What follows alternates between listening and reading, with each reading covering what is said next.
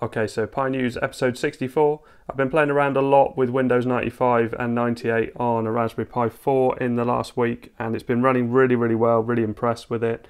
But uh, I also tried to get it running on a Raspberry Pi Zero 2W.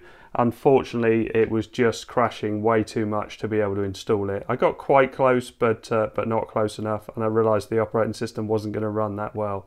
Anyway, let's get on with Pi News. So first up is one of the best videos I think I've ever seen on a Raspberry Pi. Uh, this is such a good video. Let's zoom in a bit. This is from TikTok.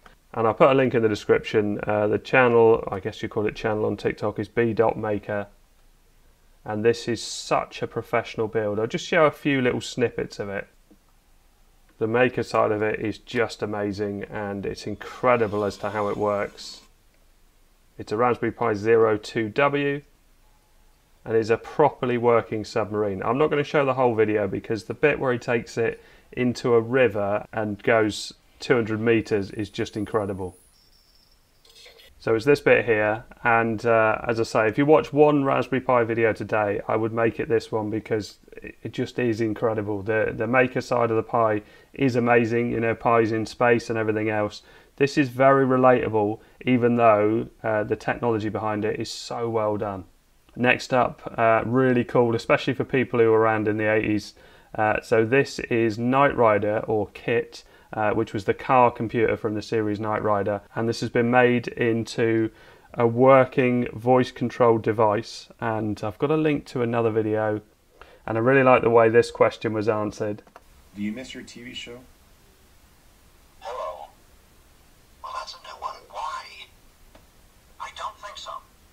Again, I'll put links in the description of this, but it really does look cool. And uh, you imagine putting this in your car and using it as your voice control system with all these lights and everything. Yeah, very, very impressive. Got to have the flashing red lights on the front of the car as well, though. So I saw this video the other day on the Spawnwave channel. It came up in my feed actually. And uh, if we scroll down, this is the one. The GameCube just got a massive upgrade. So I'll put a link in the description to the video, but as you can see from this, uh, the GameCube has seen one of the biggest breakthroughs in a long time with the Raspberry Pi Pico now taking the place of a mod chip inside the system, allowing it to boot into popular homebrew applications at a fraction of the price.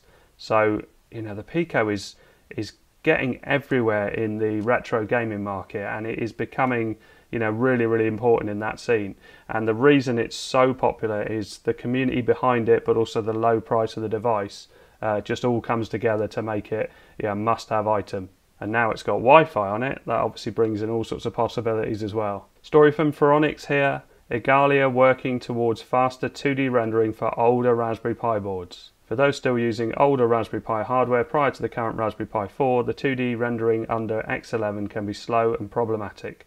Currently, the Raspberry Pi official OS images disable Glamor 2D acceleration, that uses OpenGL for accelerating 2D rendering with the X.org server. With Glamor enabled, X11 rendering can be slow with the software based rendering. Igalia, though, is working on overcoming this in being able to support accelerated rendering while using the XF86 video mode setting driver but without Glamor. So, for older devices, this could be really interesting.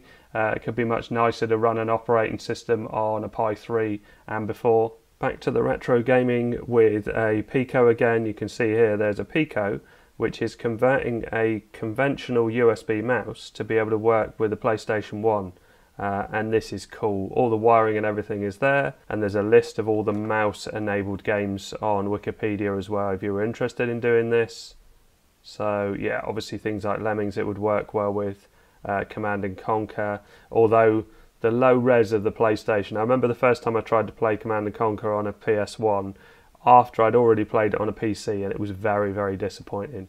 But uh, yeah, brilliant project, and uh, and really nice to see things like this that people can do themselves. I'm a big fan of the PlayStation One.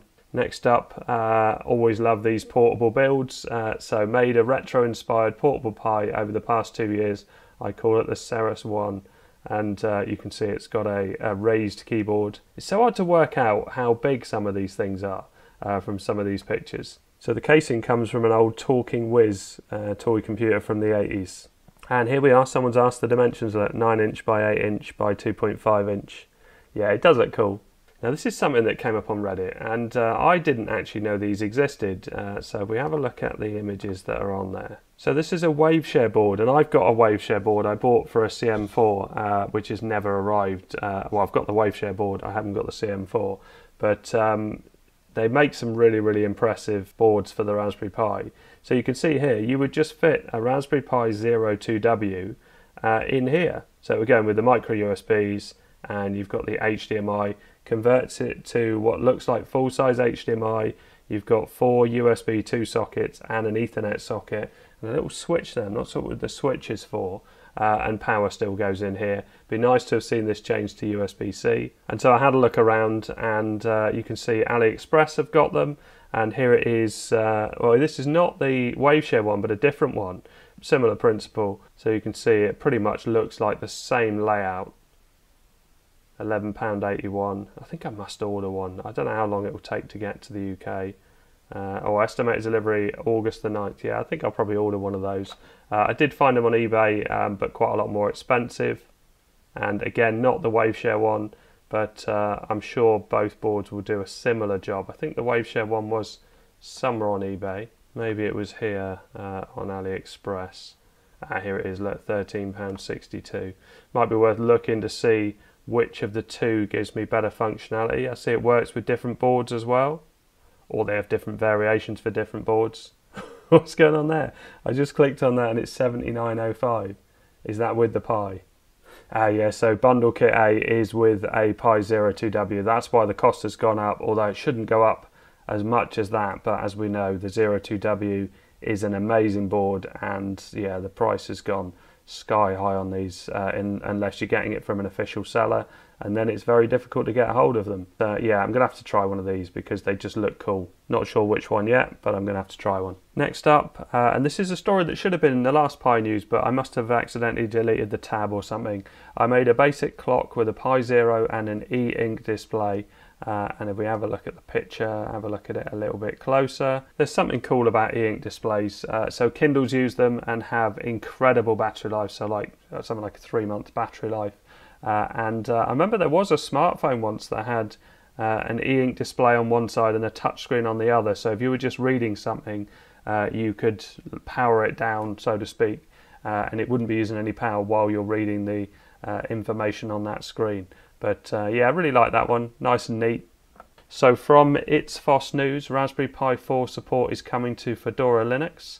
So Fedora Linux 37 to introduce the official support for Raspberry Pi 4. So it's already supported other Raspberry Pi boards, but the official support is coming to the Pi 4. So the official support in Fedora Linux 37 will only be implemented if it is approved by the Fedora Engineering Steering Committee and it's been held up by the lack of accelerated graphics, which is often a problem within Linux and ARM based devices. Now, with upstream work on newer Linux kernel and Mesa on bringing graphics acceleration for Raspberry Pi 4, it lets them enable the support for it. So I'll be looking at that in the future. Upstream now supports accelerated graphics using the V3D GPU for both OpenGL, ES, and Vulkan. So I'll definitely be having a look at that in the future. What's disappointing is they say support for the Wi-Fi on Raspberry Pi 400 is not a part of this process. And a non-Raspberry Pi story next, but I thought a lot of the subscribers would be interested in why Android needs more RAM than iOS. And I won't go through the details, you can have a read through it yourself, but some Android devices now are, are using 12 gig of RAM on a mobile phone operating system. In fact, here, look, Galaxy S22 Ultra have has 16 gigs of RAM. I I wasn't aware of that at all. Uh, and most iPhones use uh, well six gig of RAM on the Pro versions, but only four gig on the standard versions. And uh, it's to do with how it runs the operating system and various different things. But yeah, it's very interesting. If you want to have a read of it, I just thought it was worth putting in here. And last up, if you don't know Brompton as a brand, they're UK made folding bikes and they are really high quality, very, very popular. I was going to buy one a few years back, and I should have because, like a Raspberry Pi, the price has rocketed. Uh, and they are, I, think you pay about a thousand pound for a Brompton. I haven't looked recently, but even on the second-hand market, because I was just going to buy a frame and play around with it, uh, they are super super expensive.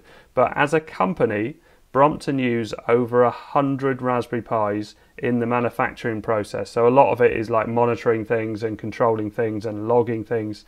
But uh, yeah, they talk about how they're a big fan of the Raspberry Pi and uh, they've tried other single board computers, but the Pi always wins out on cost and also support.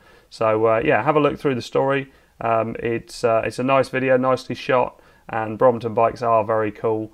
So I hope all this helps. Thanks very much for watching. Please like and subscribe.